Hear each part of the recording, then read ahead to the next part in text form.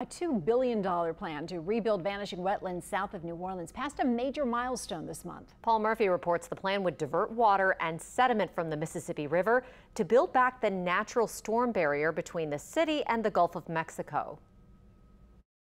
The Mid-Barataria sediment diversion will essentially cut a hole into the levee around the Plaquemines Parish town of Ironton, southeast of New Orleans, and channel part of the river's flow into Barataria Bay. And what this project is about is mimicking the natural process that built the state of Louisiana. Chip Kline is chairman of the Louisiana Coastal Protection and Restoration Authority.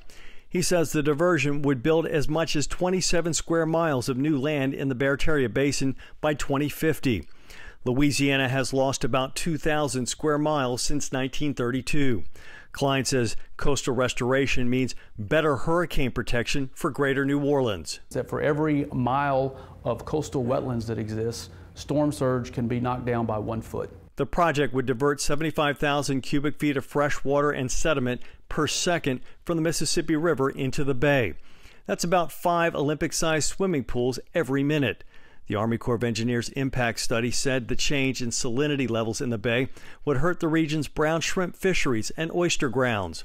Shrimper and oysterman George Barisich says the project would kill his livelihood. It's going to hurt the fishery, it's going to move the shrimp out, and then it's going to change the productive areas. You need that, you need that brackish water for them oysters and them shrimp and everything to live. State Senator Pat Connick supports the project but fears it will increase tidal flooding in places like Myrtle Grove and Lafitte. Well, first we got to find out how bad the flooding is going to be, and then we got to find a remedy to mitigate that. Raising roads, putting levees up, uh, and it's going to come with a cost. According to the CPRA, those now working to rebuild the Louisiana coast are committed to addressing any of the negative impacts from this sediment diversion project.